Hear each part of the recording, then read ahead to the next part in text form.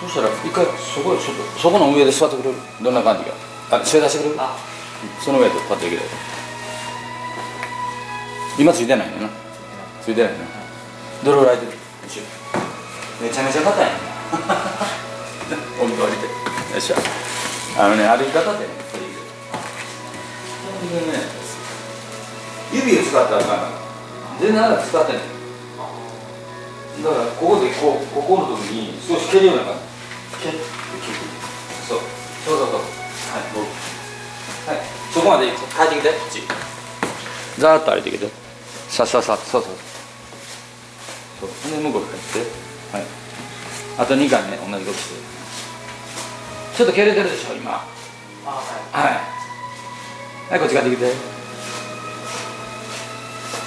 い。はいもう一回だけして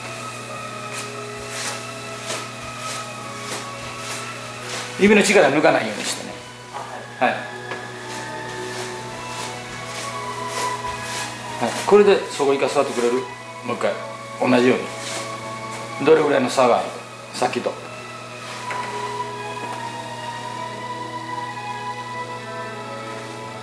あちょっとえちょっと降りてきた。あったかも。はい、でもう一回だけ歩いて。だーってさっきと同じようにはい。とっとっとって歩いてさそうそうそうそう。そう指しっかり使って使って歩くで今までそんな歩き方したことないやろ。あないでしょ。誰も教えてもらったことないと思う。はい。反対側行って。はい。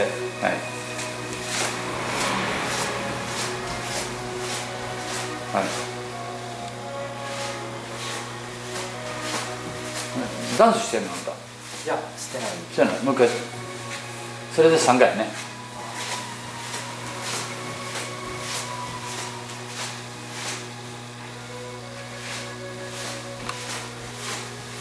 これでもう一回座ってそこ。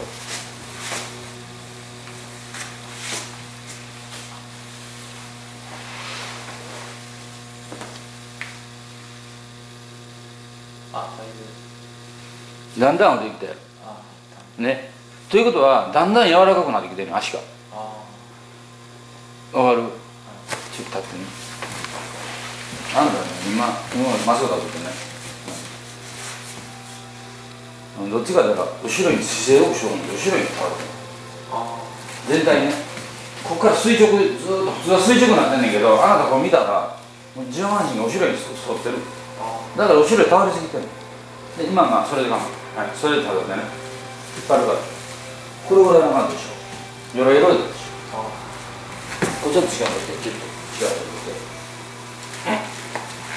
力してるかわかる足先に力入ってた力入ったら力抜いたら抜いたらよろよろやろ力入れたらわかるで力入れたら体が柔らかくなる力入れた状態で首ぐるぐるっと回してねそんな感じね、はい、抜いて回してね違うやろ硬いやろあわかる？硬さ。どうやったら柔らかいやろ？柔らかいやろ？あなんか。周りがいいやろ？すごい。あはい OK